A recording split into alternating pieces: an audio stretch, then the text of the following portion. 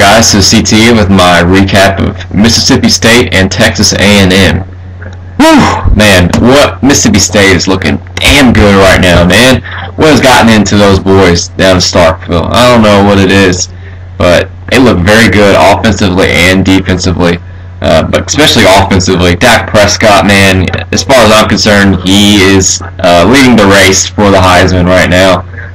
And uh, how's how did Mississippi State get this good all of a sudden?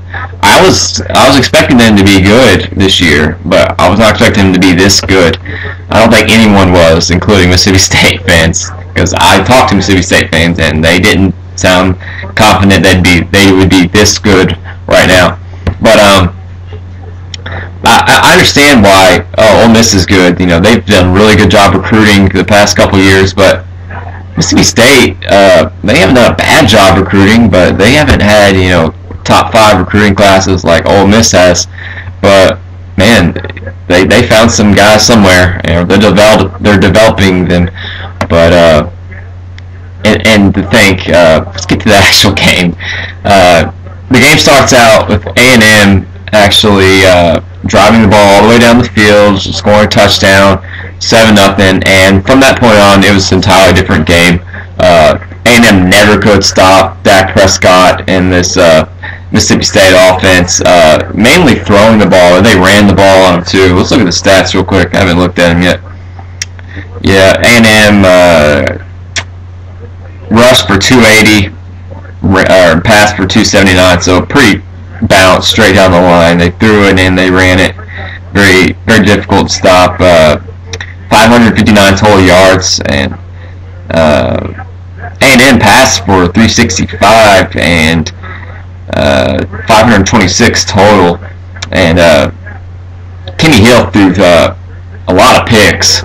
Uh, they turned the ball over three times. Mississippi State actually turned it over twice. Didn't know that. Uh, time possession pretty even, and uh, and it actually got more first downs. So looking at the uh, sheet, it's hard to tell where the uh, the uh, 17 point difference came into play, uh, but it did, and um, a lot of this yard stuff I think came in garbage time. I think is what it is, but uh, man, uh, just such the, the balance on offense is really what stands out to me for Mississippi State, and I wasn't as high on A and M as people were. People were really basing A and M's, you know, how good they were off of one game, and that was the South Carolina game. And we see now that that really wasn't all that impressive because South Carolina has not looked good at all since then, uh, except for the Georgia game. But um, man, uh, A&M just could not stop Mississippi State to save their lives, and uh, Mississippi State could stop A&M, you know, sometimes.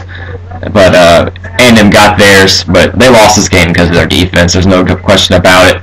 Um, maybe A&M's A&M's defense has definitely improved over last year, but it's not elite or anything like that.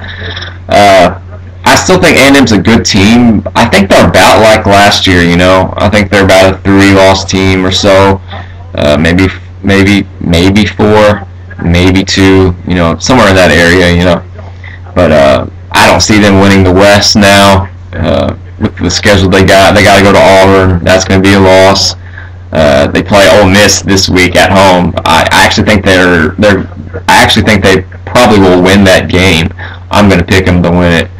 Um, they still got Bama on the road. It's going to get tough, man. And uh, Mississippi State, man, actually really looking good right now. They're ranked third in the nation now, and for the first time ever, Mississippi State and Ole Miss ranked in the top five.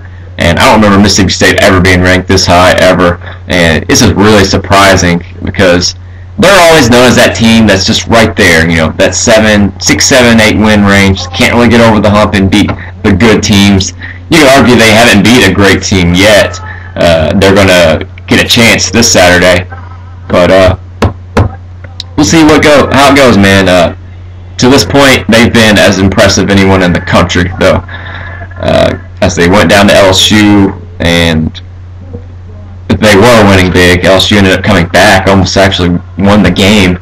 Uh, but this win was their most impressive, and uh, Starkville was really loud for this game. I heard the I, I heard cowbells in my sleep last night, and it was just an impressive uh, environment, an impressive performance all around by Dak Prescott. And uh, man, who was that receiver? Uh, Jameon Lewis actually did not play that game, and uh, that's that's even more impressive uh, if you think about it from that aspect. Was it uh, De'Runnya Wilson? Was it Fred Brown? The dude with the dreads, he's a pretty big receiver.